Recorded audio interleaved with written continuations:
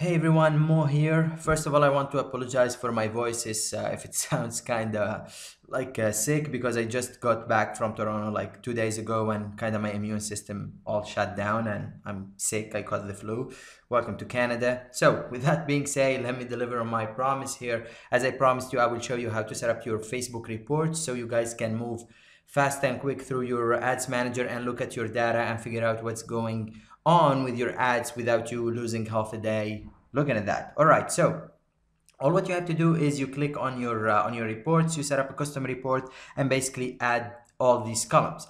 The first one is the ad set name, then you want the reach, the frequency, the CPM, the CPC link. Doesn't matter if you're pushing uh, photo ads or link ads, you want to see your link, like your cost per website click, not just the CPC on the image or the link. Now you want to see also the relevance score, so that give you a good indication of your uh, like if your product is uh, resonating with your audience and so on. Same with the CTR, kind of double check on your targeting.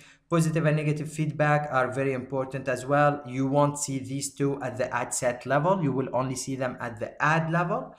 Uh, the view content, the cost per uh, view content, then your add to cart, your cost per add to cart, the add to cart conversion value. So how much value did people add to cart. So if you are using Trackify, you need to select uh, the conversion add value tracking to yes. If you're using manual uh, pixel install, you have to do that manually.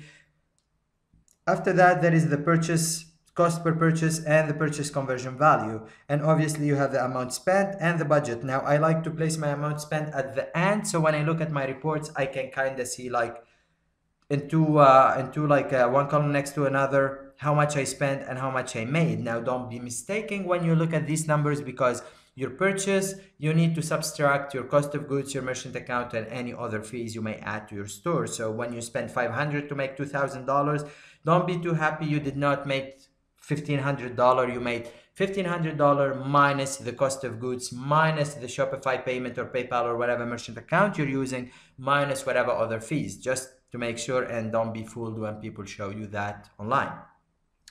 Uh, also, I like to set my budget next to this number because it allows me like to adjust my budget on the fly so I can increase, decrease, and so on.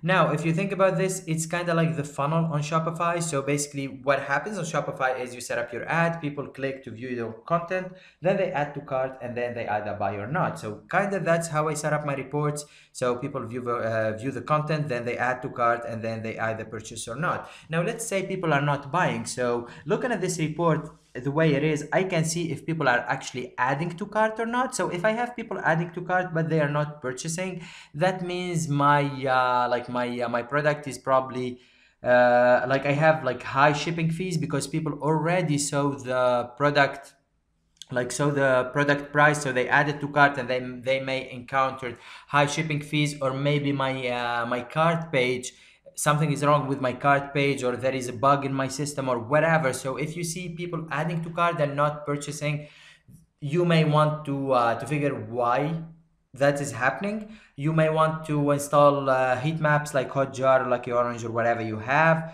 whatever you're comfortable with using. I highly recommend hotjar because it's kind of free and it gives you whatever data you want also, if you see people clicking on the view content and not adding to cart, so something is wrong with the product page. So either the price is too high, the images are not good enough, the site is not loading fast enough.